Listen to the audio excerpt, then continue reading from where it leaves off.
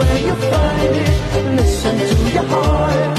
Cheri, Cheri lady, living in devotion. It's always like the first time.